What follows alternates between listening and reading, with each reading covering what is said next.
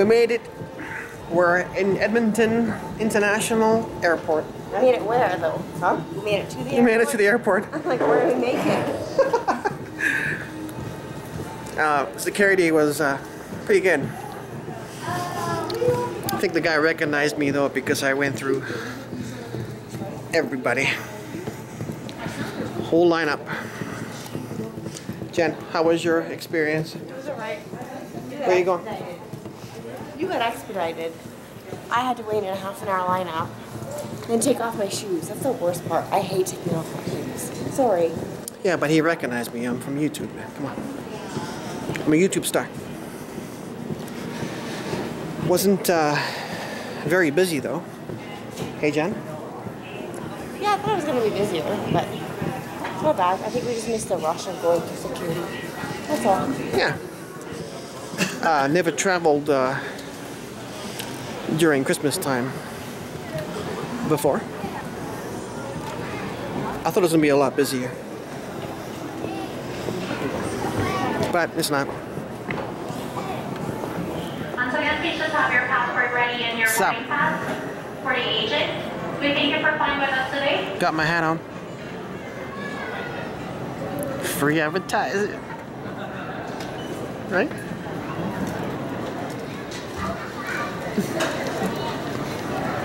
At this time, Group 8 customers are welcome to board line 5729 with So- to Phoenix. It's minus eight in Edmonton and snowing. So, and when we're flying to Phoenix, what was the temperature in Phoenix? 25 in Phoenix. Woohoo! Hey? I should have packed more shorts. What? I should have packed more shorts. Can you see so? Yes. Once again, Well, I brought only two pairs of shorts. 5729 with service to Phoenix. No. And at this Three? Two. paging the following passenger by last Three. Three. Four with swim shorts. Sure. Um, but yeah, I can't wait to feel the heat from the sun because it's snowing, it's cold. We're going out of gate number 82, which is behind me. Uh, we're just having a Chili's burger. Well, I'm having a burger. You're gonna have a salad, right? Jen's gonna have a salad. I'm gonna have a burger because we're both starving, right? And then, how long is the flight? A four-hour flight. Not bad, right? Three and a half, I think. Yeah, Three and a half, maybe. yeah. All right, so I'm at Chili's at the airport. Okay, I ordered a bacon cheeseburger. All right, take a look at this.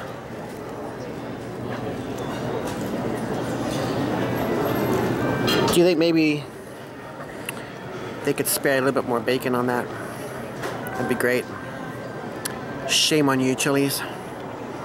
And yes, this is going on YouTube. Hey, everybody. Made it to Phoenix, Jen. Hi. Jen chose to walk. I'm on this thing here.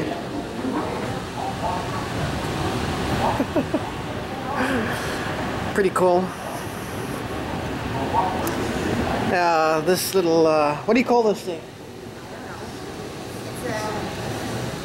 Airport escalator. It helps you move faster in the airport because look, Jen's still back there walking.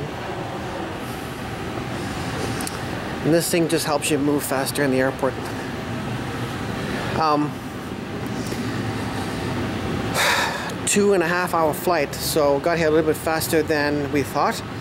Um, some turbulence, not much, but there was some. And you know, one thing they got to work on though is getting people off the plane faster because I was way in the back of the plane and it took like 20 minutes after landing to get off. That's brutal. Where's Jen? Anyways, we'll come back soon. What's up, everybody? So, made it to uh, Phoenix. Uh, it was a two and a half hour flight. It wasn't too bad. Some turbulence. Um, and you know, turbulence takes some getting used to for sure, right? but one thing they got to work on though is, is getting people off the plane faster because we landed and then it took about 20 minutes to get people off the plane. There's a plane landing right. Uh, you're probably not gonna be able to see it, but no snow.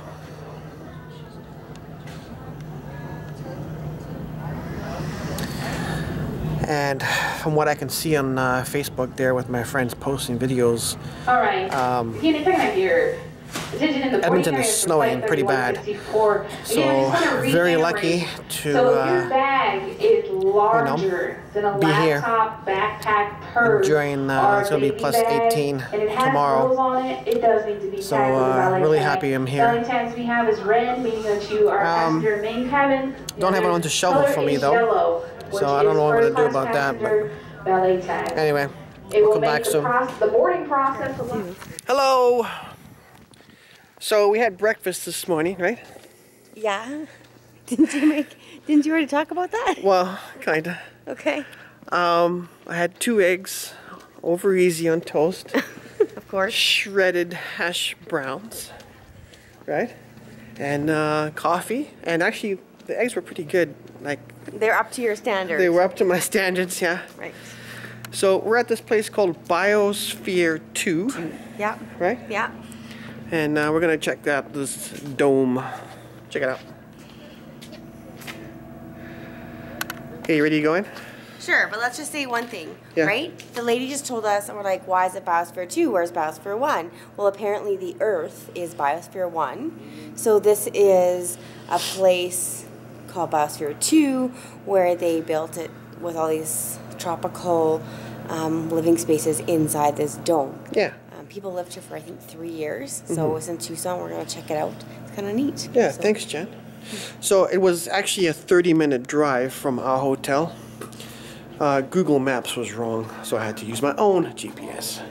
So you ready to go in? Yeah. Okay, let's go. this. Okay, so we made it through. We bought our tickets. This is your guide. Well, it's like a brochure or whatever, right? Right, so we just have to walk through. We're here right now through these buildings. We just to walk this way. Whoops, the wind. And we're gonna go all the way down until we get to actually the biosphere area. And then we're gonna have like a self-guided tour, they said. And then Yeah. then we're gonna meet at 11:15 for a guided tour with a guide, telling us a little bit more about Perfect. each of the buildings. Let's go.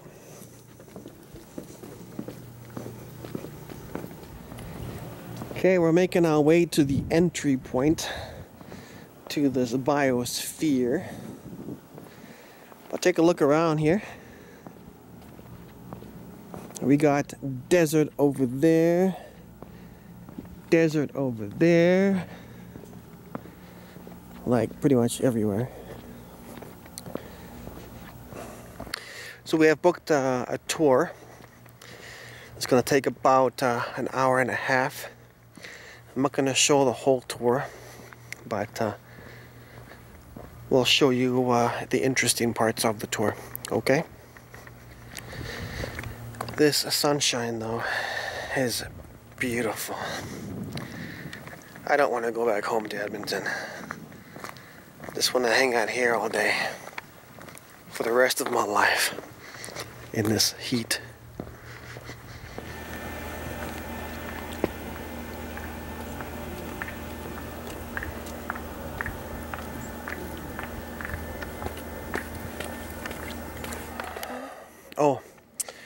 And uh, by the way, if I look fake today, it's because I got the sunglasses on.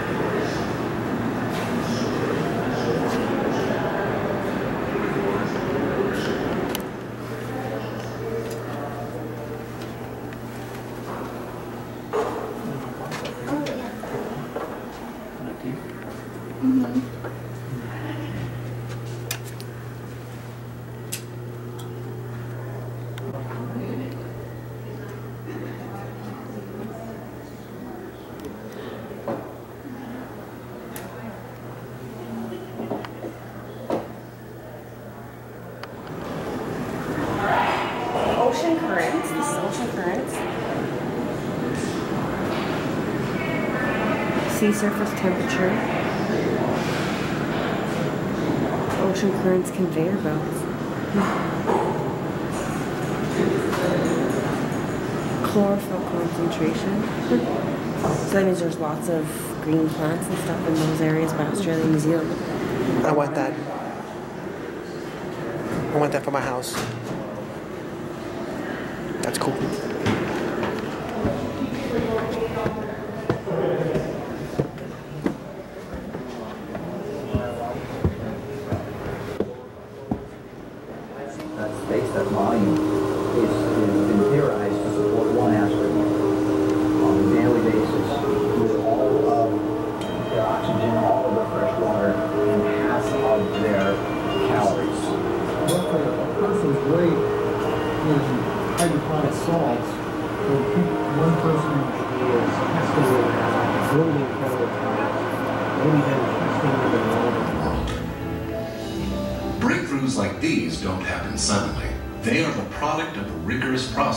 Begins with questions. Important questions that lead to experiments and observations. More questions follow and more experiments. We have started our tour.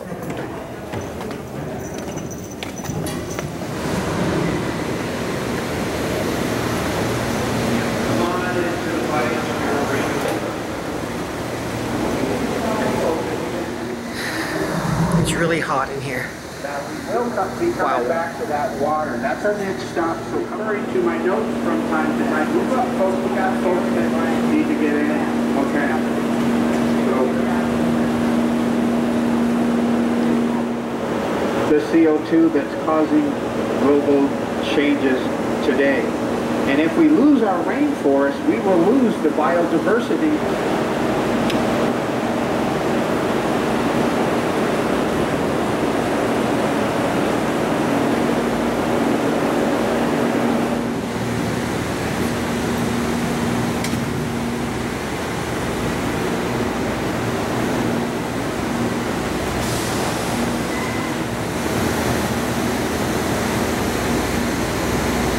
Did you say some hundred thousand gallons? I think so. We are in front of Pioneer Ocean. This is an 7,000 foot ocean.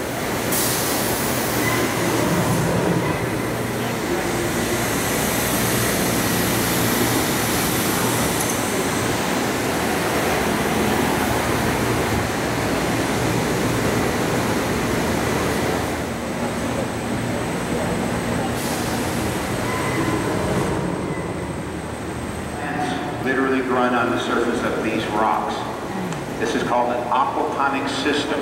I will be talking a lot about water, food, and energy throughout the tour, and this is another example of that. How does this system work? You're walking into a coastal desert. This is, this, that's what this desert's been modeled after. Different deserts. We have, have the Great Basin of the U.S., which is a desert. We have the, the Agobi Desert in Asia, which is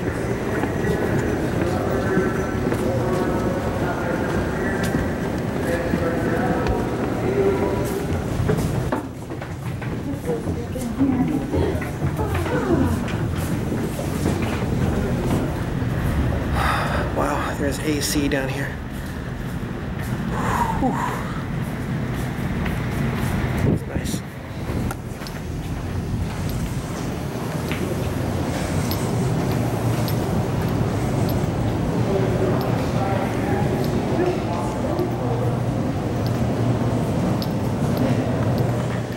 This is where all the climate throughout the biosphere and each of those ecosystems has rain, um, the air blowers that we pass, it controls those. It controls the temperature of the water, hot, cold, and normal. And as you can see, it's a large machine, about the size of a train car. It's big.